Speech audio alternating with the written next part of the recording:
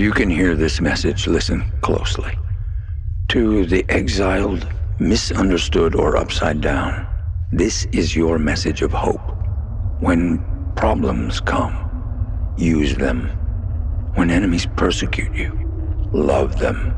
These struggles are a fire, refining you into gold.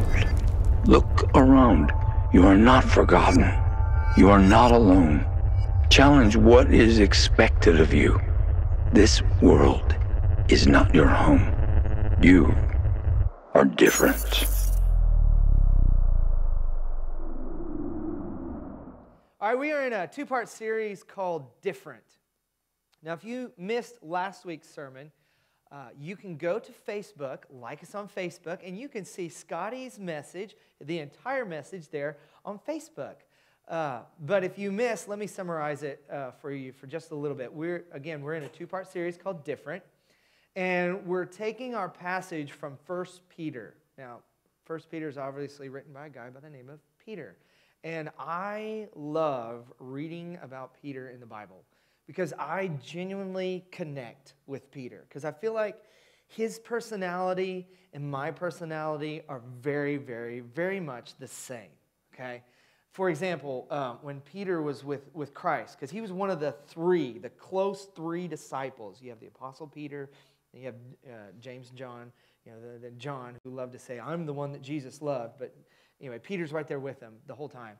And, and, and Peter's talking with Christ, and, and Christ asked this question. He said, So, who do people say that I am? And then they started throwing out all these answers. You know, oh, you're this prophet, you're this person, you're this person. Then he says, who do you say that I am? And Peter, man, he's all ready. He was, I, I, feel like he had it in his heart. He's like, okay, I know this one. I got this one. I'm going to go to the front of the class on this one. He says, you are Christ. You are the Messiah. And, and Jesus is like, Peter, you are right, man. You get to go to the head of the class because I'm going to build my church on you. And man, Peter's just like, his head's going getting big. And then, and then, uh, then Christ says this thing. He's like, I mean, if you read, if you're reading the passage, you know, he's you're following on, and it's just like maybe two two verses later. Christ is like, okay, now I'm going to go to Jerusalem. They're going to kill me, but don't worry, I'm going to raise from the dead. And Peter's like, no, you're not going to do that. And, said, and, the, and I love it because it says Peter pulled Christ aside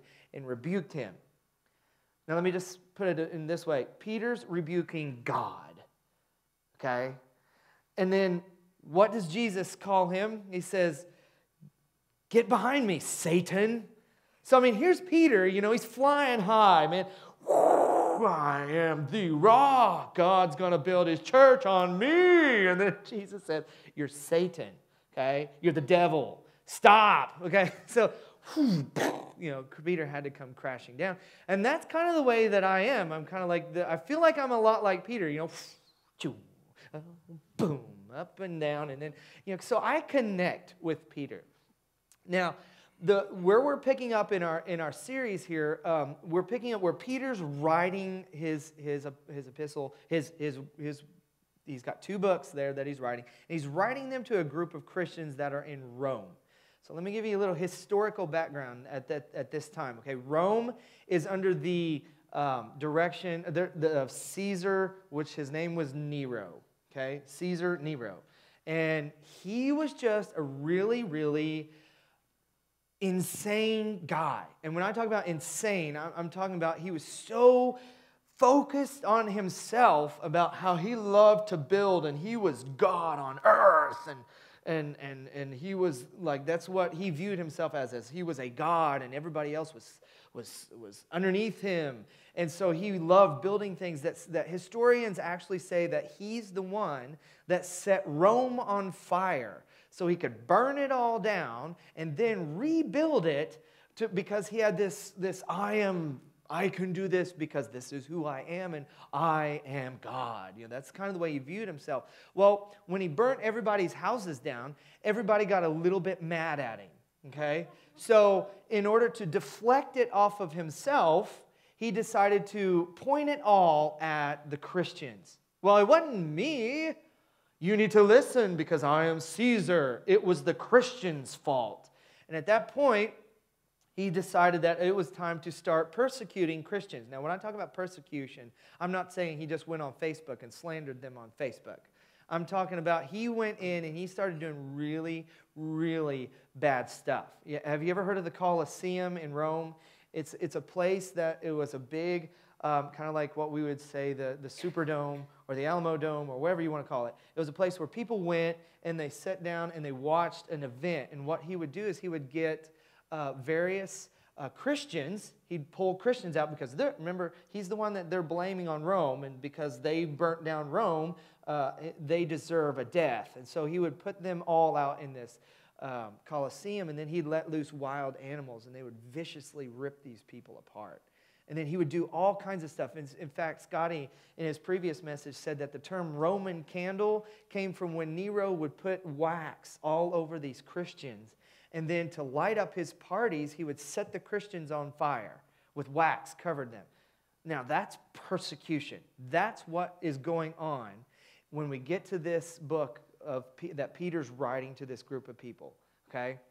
And so, with that in mind, kind of like a historical background of what's going on, you know, Peter begins to remind them listen, you need to stop focusing on all your problems but allow those problems to begin to change you and begin to do something so that people can see that, hey, there's something different about these Christians. Why, what, why is it that all of this is going on? But what is different? There's something different because they changed their focus. Their focus was on God and not their circumstances. And they allowed their circumstances to show their faith in God. Okay? It allowed their, uh, what was happening in their lives, they allowed them to show their faith in God and, and how strong their faith was in who they were in Christ. And so we're continuing in the same chapter where Scotty left off last week. And we're just going to pick up right, pretty much right where he left off with verse 13. Here we go. 1 Peter 1, verse 13. It says, Therefore, prepare your minds for action Prepare your minds for action. Keep sober in spirit. Fix your hope completely on the grace to be brought to you at the revelation of Jesus Christ. Now, that prepare your minds for action, that's a military term. When Peter's talking to these people, he's saying, listen, you need to get ready for battle. Okay, because there's going to be things happening here that you need to be prepared. Your minds need to be prepared for battle. Okay? And, and, and the problem was, again, here's your historical setting. All these people are dying. They're being tortured, literally tortured for Christ, because they bear the name Christian. They just, the, uh, Christian means little Christ or Christ's followers. They said, We're going to follow Christ. And because we're following Christ, Nero was persecuting them. And, and what happened, the tendency was then, was they were like, Well, if I just kind of go with the flow and kind of, you know, just stop following Christ or just kind of fit in with everybody else of the Romans where they don't know that I'm a Christian, then I don't have to worry about being persecuted.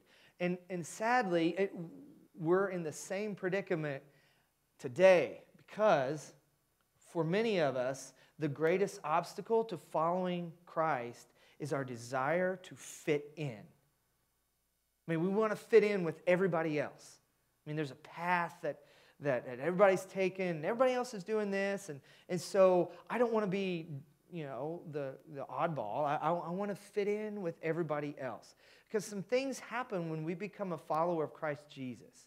When we become a follower of Christ Jesus, things begin to change. Okay? So why does this matter? Why does it matter that, that, our, uh, that we need to do something different? Because we were not created to fit in. We were call, created to stand out. We were created to be different. God created us to be set apart. And, and the problem the problem with that is so many people wrongly believe that God's highest calling in their life is their happiness. Well, I deserve to be happy. I deserve to be happy. That's God wants me to be happy. And when God wants me to be happy, I can do whatever I want. I can, I can live any way that I want because God wants me to be happy. And that's wrongly what a lot of people believe. They believe, hey, I, I, God wants me to be happy, so I don't really have to wait until I'm married. I, I, I, I God wants me to be happy. Or um, I don't have to, uh, I don't have to save up money for my family. I can spend it all on myself because I deserve to be happy. You know, I can have multiple partners. I deserve to be happy. Okay? But that's not, not, not what God is saying. God is saying, listen, you've been called to be different. Because when we believe that God wants us happy above all else, discomfort, delay, risk, and suffering can't be God's will. If we believe that, hey, God wants us to be happy, delay or discomfort, that, that's, that can't be God's will. Can't be God's will. Okay? I need it now, and I need it uh, at this moment. It's mine. I deserve to be happy, so I'm going to do whatever it takes to be happy. You know, risk, suffering. Wait, wait, no, no, no, no. I can't. Suffering can't be part of God's will because I deserve to be happy. Well, no. You see, here's what we need to understand from the beginning God does not exist to serve us, we exist to serve God. God did not create us because he was lonely. God doesn't need anything. If you read the Bible, it says God doesn't need anything. God doesn't need anything. But he created us because he wanted a relationship with us so we could serve him. I mean, he had angels, created angels, you know. He was lonely. Why didn't he just? Because no, that's not God's plan.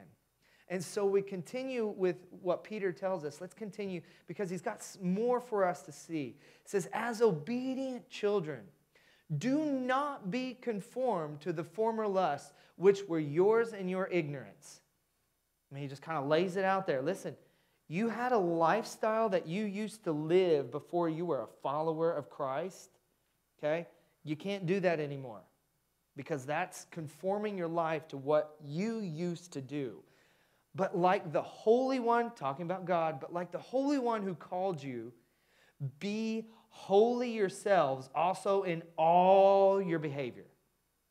Everything you do, be holy, because it is written, You shall be holy, for I am holy. God is saying, Listen, I am a holy God, therefore I want my followers, those who follow me, I want you to be holy. Because look, God's highest calling for you is not your happiness God's highest calling for you is your holiness. And I feel like we get hung up on this word holy. I can't be holy. But do you even know what the word holy means?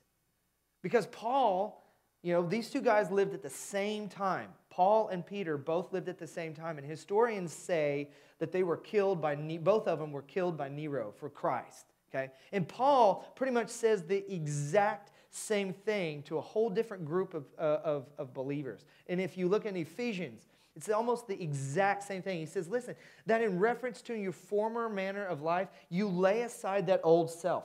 All that that you used to be, you don't do that anymore. Because you are being, because which is being corrupted. Your old self is corrupted in accordance with the lust of deceit. Your old self, it, it, it's, it's bad, it, it's filthy okay? It's really, really disgusting, your old self. So, what you have to do, you need to be renewed in the spirit of your mind, just like Peter says, and put on the new self, which is in the likeness of God, which has been created, which has been created in righteousness and holiness of truth. God says, listen, you are called to be a holy people. And I feel like a lot of times we're again, we're caught up on that word holy. Like we've been told, oh, you cannot be holy. Well, no. Peter says it, and then Paul also says it. Both guys the, at the same time said, listen, you are called to be holy in your life. So what is, let's talk about that word. What does it mean? I like this word. It's a Greek word, hagios. It makes me think of that, what is that Scottish dish? Haggish, kind of, I guess that's what it is. kind of makes me think of that, but not really. Hagios. It means to be holy, to be set apart, to be different, to be pure. And when God says, Listen, I want you to be a holy people, He says, Listen, I want you to be set apart. I want you to be different. Because, you know, in, in Scripture it tells us, it says, Listen, broad is the path, uh, is the gate, and wide is the path that leads to destruction. And then it says this, but listen, narrow and small is the path Narrow is the gate and small is the path that leads to righteousness. So you got this broad path, and it says, on the broad path, many people are there. On the small path, few people are there. So if, if you're on the broad path, if you're doing what everybody else seems to be doing, then would you call that normal? That's what everybody's doing. If you're doing what everybody else is doing, you're normal, right? That's, that's normal. Normal is having multiple partners. Normal is, is living a life um, of getting plastered every week and getting stoned every week. And that's normal. Normal is living paycheck to paycheck. Normal is doing this. Normal is, is, is, is everything that, that causes stress. Normal isn't working. If you look at it, normal doesn't work. So, what's the opposite of normal? I love what Craig Groeschel says. Craig Groeschel is kind of like my hero guy that I follow, okay? He's a pastor in Oklahoma. He says, listen, if you're not normal, you're weird, okay? So if you're on the broad path, you're normal. But if you want to be weird, different, set apart, you got to do weird things. Okay, normal is this.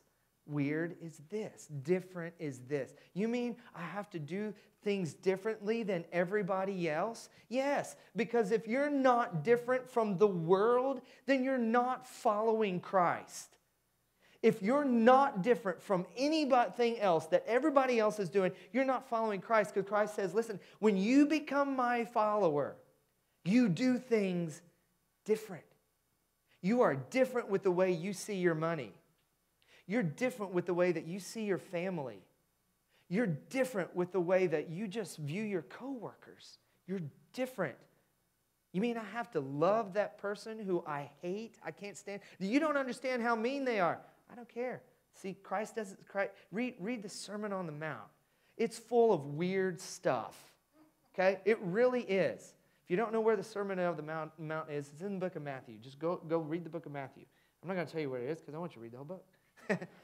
go in there and look at it but it's great stuff. I mean, and it's weird. Christ is like, love your enemies.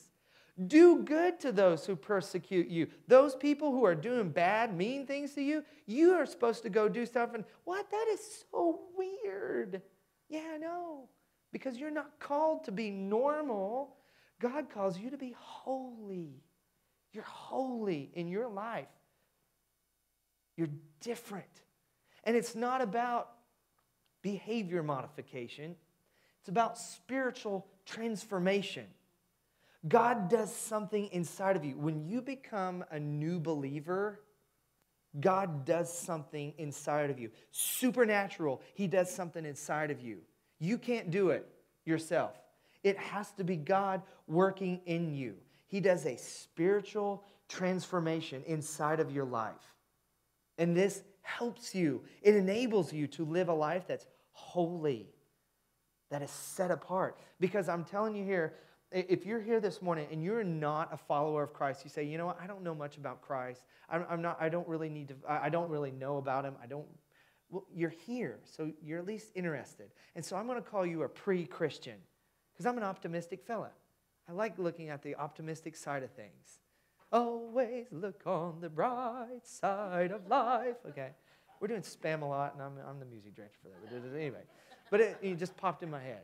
But anyway, I'm an optimistic fella. So if you're here and you're a non believer, I'm going to call you a pre Christian. So technically, this sermon doesn't really apply to you, caveat, yet. Because when it, you do become a believer, then this sermon is not negotiable. This is a requirement. If you're a follower of Jesus Christ, this Jesus doesn't give you any options. He doesn't say, hey, listen, when you become a follower of me, you can be holy or not holy. I don't really care. That's not what he says. Paul and Peter both emphasize that, hey, when you become a believer in Christ Jesus, you're called to be holy. You're called to live a life that's different. That's a whole series is on living a life that's different. When you find who you are in Christ, when you realize that Christ, listen, Christ did something inside of me. I'm different. You live a life that's different. It's not the same. You do, both of those guys, both Peter and Paul, if you remember, they said, listen, don't go back to that former, former self. That former self is dead, it no longer exists. You put on a brand new creature. You allow Christ to come inside of you and do a work inside of you where you're different. There's something different about the way you live your life, and people will notice. They're going to notice. You mean this person doesn't do this anymore? I mean, they, they're not going to get plastered with us every week? No. Well, what's different about them? Something's different. Something's different because you've allowed God to make you holy. You've allowed God to come into your life to make you holy. Now, when Lark and I were first married, we had this little bitty house in, in Indiana. Uh, okay, she's a Texan. Uh, that's my saving grace. I'm not. I'm a Hoosier. I'm from Indiana. Okay, so some of you are like, okay, I'm leaving right now. Whatever you have to say doesn't even.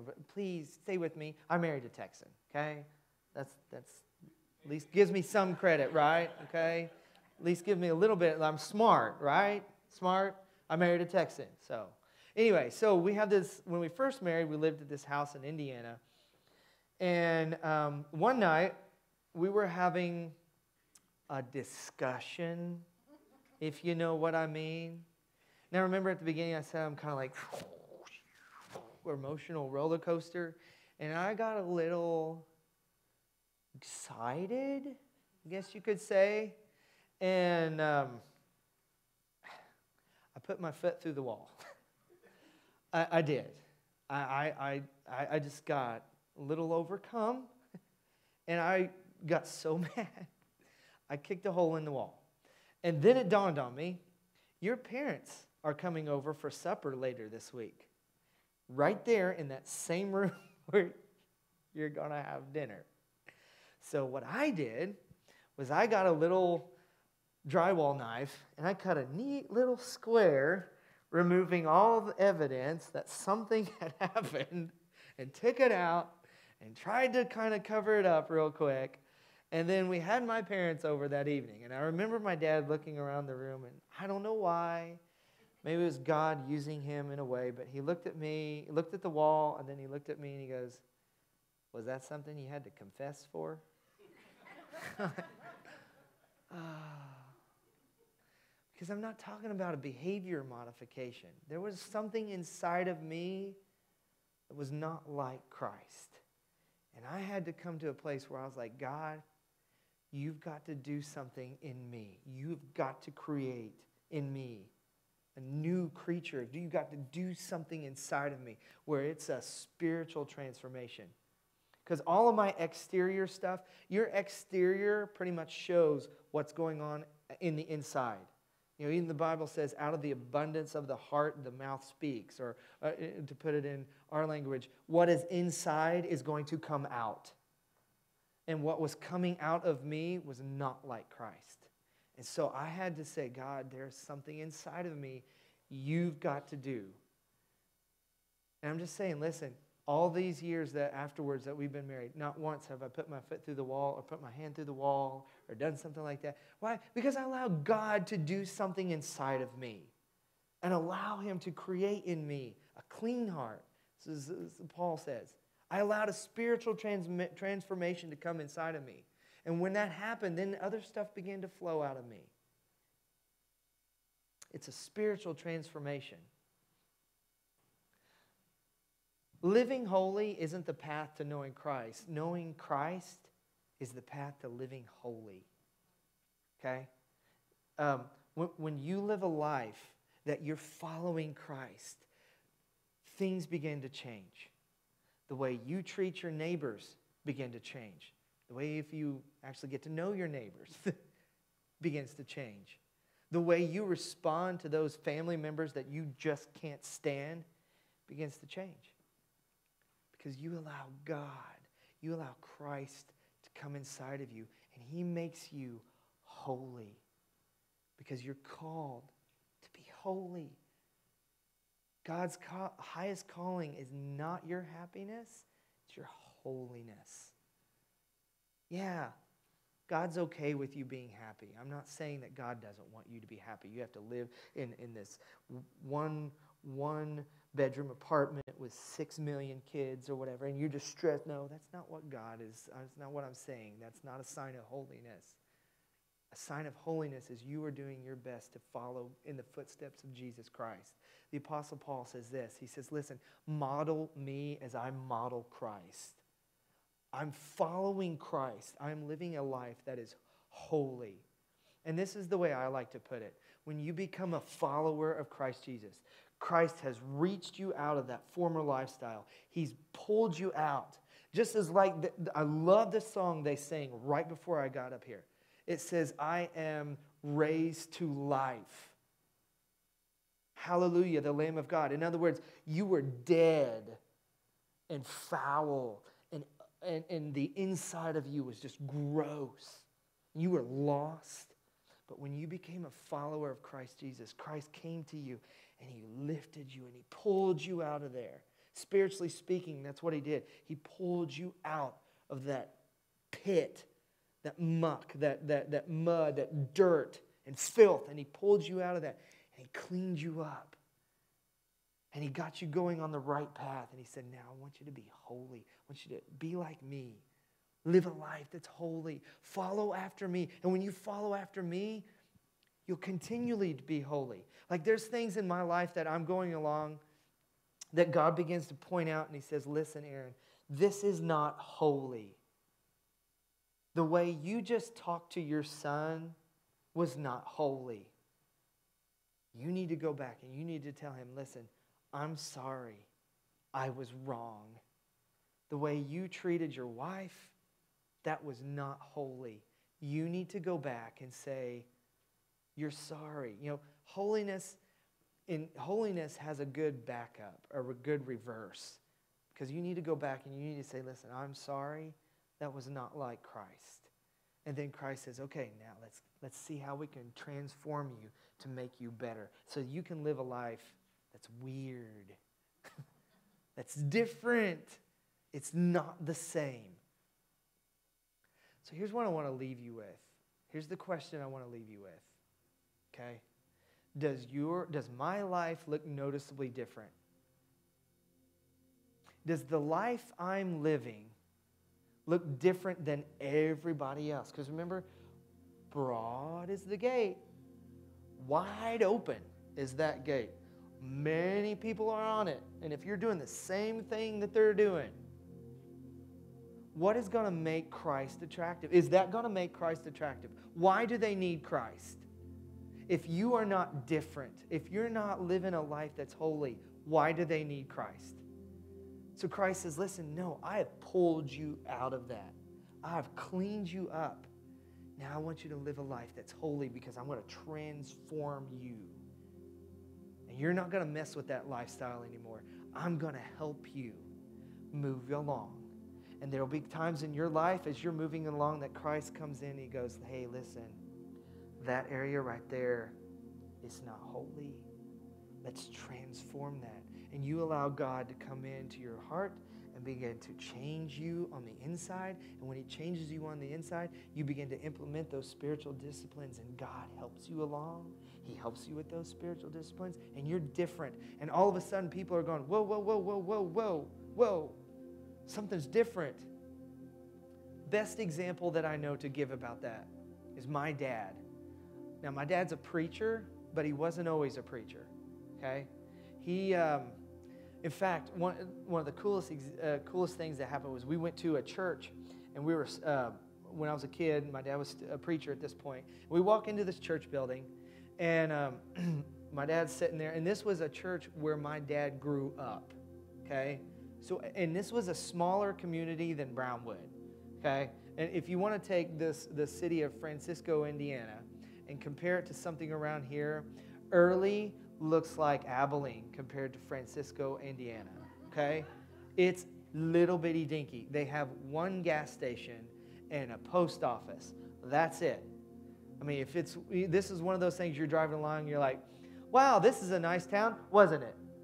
You know, I mean, it's lit. It's I mean, you it's just like that, and you're through Francisco. So everybody knew everybody, and everybody knew everybody's business, and everybody knew my dad. Okay, and we step into this church, and my dad introduces himself to the pastor who had been there since, since my dad was a kid. And he looked at my dad and he said, You're Jim Terry? He's like, What are you doing now, Jim? My dad said, I'm a preacher.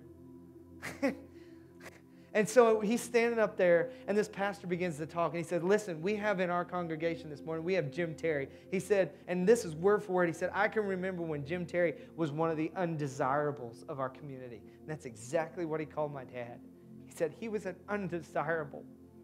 But God came into my dad's life at 20 years of age. And this is how he did it. My dad went to work one day, and there was this lady that he was working with. He saw something in this lady and began to watch the way she lived her life. And he was like, and he, he told me, he said, I watched this lady. And he said, the more I watched her, the more I began to say to myself, wow, if I ever get religion, that's the kind that I want right there because this lady lived a life that was holy, that was set apart, that was so vastly different than what my dad did. My dad never told me all the stuff that he did as a kid until he was about 20. I mean, he did a lot of crazy stuff. And at the age of 21 years old, this lady affected him so much that he went to a church and some old guy came up to my dad and said, Hey, Jim Terry, do you want to pray? And he, my dad was like, I don't even know how to pray.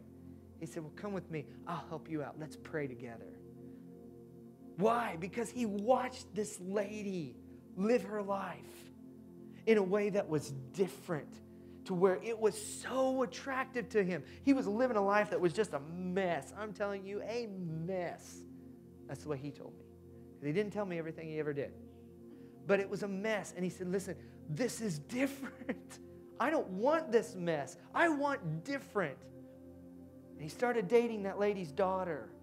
And they got married. And then I came along. And then my sister came along. And then God came to my dad and said, Jim Terry, I want you to preach. What? And so he went back to his home community with this testimony of there's something different. And when God comes into your life and He changes you, there's something different. And that's what makes Christ so attractive. Read the Gospels. I mean, there was a time when 5,000 men, not, not including, this didn't include all his, their families, because their families and children went along with them. Just men alone, 5,000 of them so we don't even know how many were total there totally. They, they, were, they were so interested in what Christ has, had to say. He was that attractive that where he went, thousands would flock to hear what he had to say. Something's different about this guy. Something's different. And then Christ says, Listen, when you become my follower and you live a life that's holy, which is different, it's set apart. It's not better than, it's different, set apart you become attractive. You become attractive to those people over there. The, the broad path, they'll turn around and they'll say, Whoa, why are they different? What is it that attracts them? You're living a life that's holy, it's set apart, it's pure. And that's what Christ says. Follow me. Take up your cross. Follow me. Do what I do. Peter says that, and Paul, both of them said the same thing. Don't, don't mess with that old lifestyle. That old lifestyle is dead. You've been raised to a new life. That old life's gone. Now walk and be holy. Live different. Let's pray. Lord God, I pray that this morning you would take this message and you would begin to work on hearts of people and that you would show them that they are called to be different, that they have been called to be set apart, to be holy, a holy people. And that when they are holy, they're doing their best to be the model of Jesus Christ. They're living a life that follows Jesus Christ. It's different in that it becomes attractive. And Lord Jesus, you become attractive. And people see you and they think, what is different? I want that. I crave that. I need that. Because we've put it away. We don't mess with that life anymore. We're following you and we're allowing you to transform our inside. And when we're transformed into the likeness of Jesus Christ, you become the focal point and you are attractive to people, to those who are non believers. They will want what we have. You, you are made attractive by us living a life that's holy, set apart, different. Lord God, I feel like you're moving on people's hearts right now. Give them strength. Give them connections with people in the church who, who can help them along. And Lord, for those who are here this morning who, who are not your followers, Lord, I pray that you would help them to continue to come and listen to you. Lord, if even if it's not Brownwood Community Church, Lord, let them find that place where you are continuously being shown and, and, and you are just become more and more and more attractive till they want you above everything else. Lord God, we thank you for what you're going to do. We thank you for what you're doing in this very moment. Lord God, as we go this week, help us to be attractive to, you, to, to the world. Help us to show your holiness in our life. Lord, it's going to be hard at certain times, but you have said that your power transforms us and you work through us. And when we allow you, when we submit to you, you transform us and you help us and you make us like Jesus Christ. And that's attractive. Pray you help us this week to touch somebody's life every Christ follower here this morning. Help us this week to touch somebody, to show Jesus Christ to somebody this week by living a life that's set apart and holy. Thank you, Lord, for that power that you have, that supernatural power that helps us along. And for what you do, we'll give you thanks and praise. In Jesus' name, amen.